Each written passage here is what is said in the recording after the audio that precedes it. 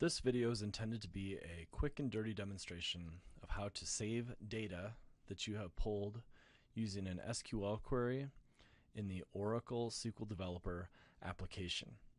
First, make sure that you have a connection. You'll know that you have a valid connection. You'll see your database, you'll see your tables, you'll see columns, you can see your views, etc. You can input your search. This is a very simple search. I'm going to run it. My output shows up at the bottom of the screen. One thing you may be asked to do, especially early in the class, is simply save this output to your workbook or your assignment. To do this, all you have to do is highlight your data. I've got about 50 rows here. Hit Control C. Come over to your homework. It's asking you to copy and paste the results of your search into the box below. You just copied it. Now all you have to do is paste it. I don't mind a long list like this as long as it's a page, maybe two, or whatever you've been asked to do.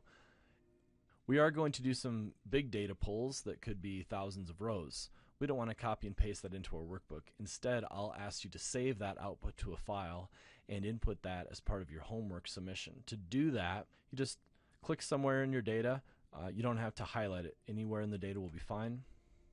Export. This would actually save a SQL insert statement. You do not want to do that. You want to save a CSV file. The delimiter is already set to comma and it cannot be changed. You've already said I want a comma delimited file. You want to give it a name and a location that you want to save to. I'm going to do that now.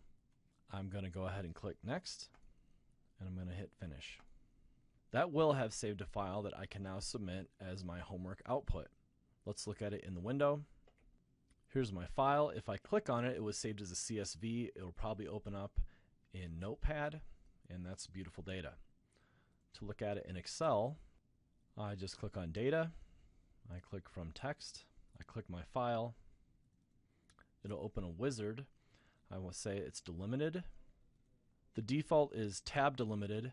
I don't want that. I want comma delimited, and you'll see my data looks a little funky right here. When I click on comma, Uh, it turns it into rows. It looks beautiful.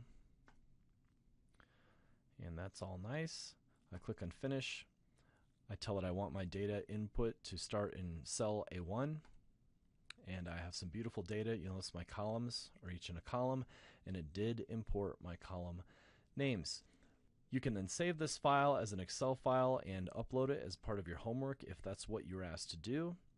If you have any questions, drop me an email. Thanks for watching. Have a great day.